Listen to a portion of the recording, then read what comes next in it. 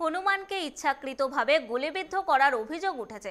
অজয় দাস নামে এক ব্যক্তির বিরুদ্ধে অভিযোগ তুলেছে স্থানীয় বাসিন্দারা। তবে অভিযুক্ত সমস্ত অভিযোগকে অস্বীকার করেছে। একটি হনুমানকে গুলি করে হত্যা করার অভিযোগ উঠেছে এক যুবকের বিরুদ্ধে। ঘটনাটি ঘটেছে নদিয়া শান্তিপুর থানা এলাকায়। সূত্রের খবর, শনিবার সকালে নদিয়ার বাইগাছি পাড়ার বাসিন্দা অজয় দাস তার একটি এয়ারগান নিয়ে হনুমানকে লক্ষ্য করে গুলি চালায়।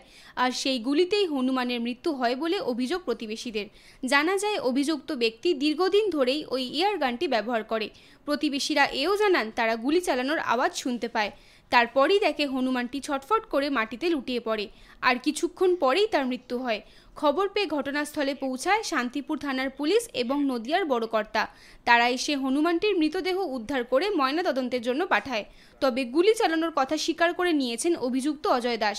কিন্তু তার দাবি, সেই গুলি হনুমানের গায়ে লাগেনি এবং সেই সঙ্গে প্রতিবেশীদের তোলা অভিযোগকেও অস্বীকার করেছে সে।